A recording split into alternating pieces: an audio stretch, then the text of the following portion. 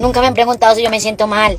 Nunca me han preguntado, Epa, pues qué siente tanto bullying que te han hecho. No es ningún secreto que Epa ha sido muy abierta sobre las cirugías estéticas que se ha hecho en su cara, pero lo que nadie esperaba era que el resultado generara tantas críticas. Se siente mal porque está recibiendo bullying y no puede más. No, la gente le, le preocupa es acabarlo destruir a uno. Déjeme estar insultando todo el tiempo. La gente no deja de decir que Epa se dañó la cara y que parece otra persona. Al parecer ella tenía la cara bonita, no había necesidad de que se hiciera ese procedimiento. Con todo esto, Epa no debió haber abierto Facebook, pero lo hizo.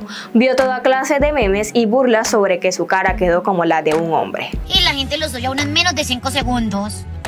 Y nadie ni siquiera me ha preguntado, venga, Epa, ¿cómo va? ¿Cómo sigue? ¿Ya puede comer? ¿Ya puede masticar? ¿Cómo se siente? No, mami. Tanto así que tuvo que pedirle al doctor que la infiltrara porque no aguanta más. El médico, como buen profesional, le pidió paciencia, asegurándose que va a quedar bonita. Pero mientras tanto, Epa sigue soportando todo tipo de comentarios. Amiga, yo me siento a veces mal que me, me estén karateko insultando, ya fuera de chiste.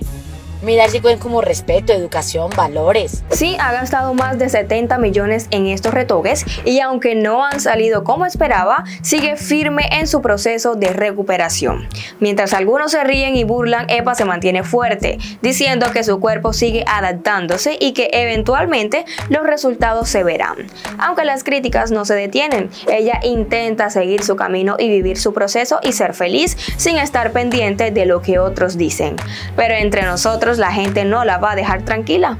Finalmente reveló cómo están quedando los resultados y luce divina. Asegura que el mentón tardará a 2 a 4 meses en verse mejor.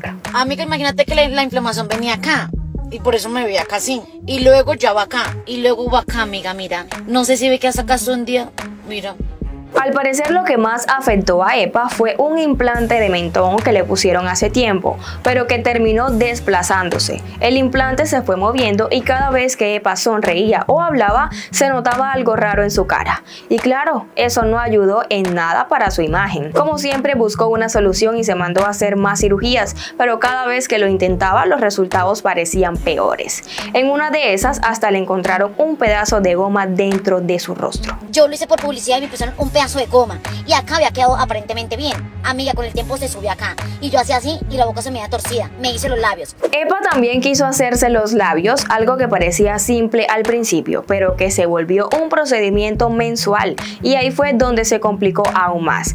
A medida que se hacía rellenos, más raro se veía su rostro, al punto de que su nariz se hundió en una parte. Salió embarazada y sus boobies tampoco quedaron como esperaba. Se veían separadas y eso terminó afectando aún más su autoestima. Mira, yo los senos como van, los senos están aquí, amiga. Entonces la gente me dice que un seno te queda más grande que el otro es. Y nunca me han preguntado, amiga, ¿cómo hace la recuperación? ¿Te sientes bien, amiga? Cuéntanos tu experiencia. No, mami, todos los días lo mismo. Todos los días lo mismo. La recuperación de EPA Colombia ha sido lenta, eso está claro.